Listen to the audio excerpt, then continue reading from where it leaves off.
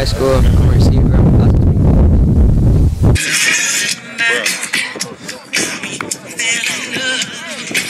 Tyler's parents, where are you? Tyler's parents.